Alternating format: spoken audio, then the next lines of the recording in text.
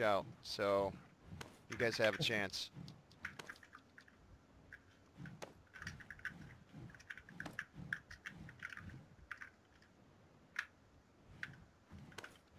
I don't know why you guys didn't want to come over here. It's freaking awesome.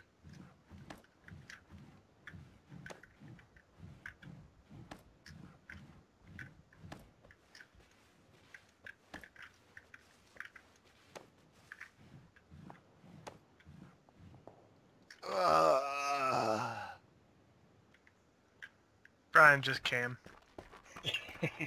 Into the afterlife. Yeah, buddy. Uh,